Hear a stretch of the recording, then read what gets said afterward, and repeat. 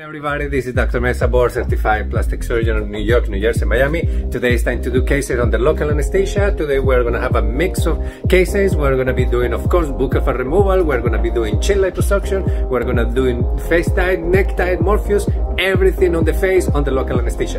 Watch the videos. Bye-bye. Okay, my first case is a lovely lady that has a double chin, but she is more older than 35 years old, so she has a little bit of skin laxity. So as always, I'm gonna be doing chin liposuction with the skin tightening. In this case, I'm gonna be using the NeckTite and Morpheus 8 to give it like a really skin tightening and then I'm gonna do the extended chin lipo.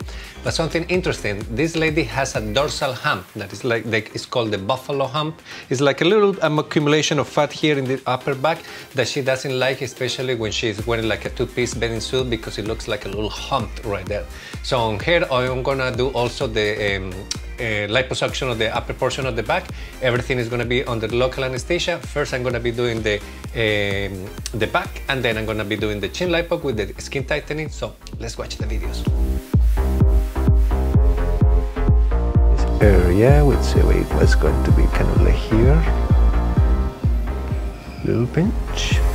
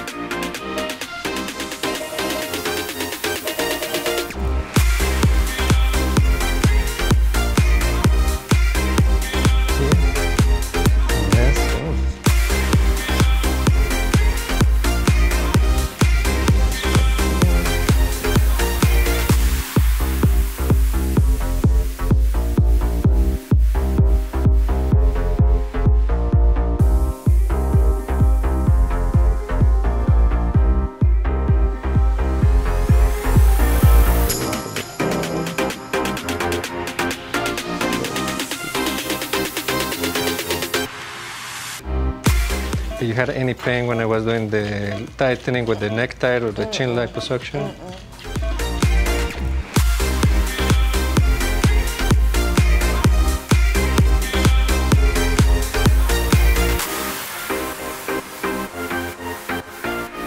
Okay, so the next case is an standard extended chin liposuction. She is in her 20s, so anybody that is in the 20s, they have amazing skin elasticity, so when I do the extended chin liposuction, that skin shrinks. So the magic kind of number is below 35. But if you are 35 or above, or you have poor skin elasticity, then you need to have a skin tightening, and the one of choice, in my case, is NeckTite.